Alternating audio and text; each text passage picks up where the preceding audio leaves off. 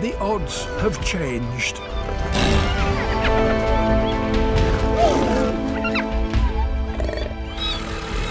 Even for 20 hyenas, a pair of male lions is too much to take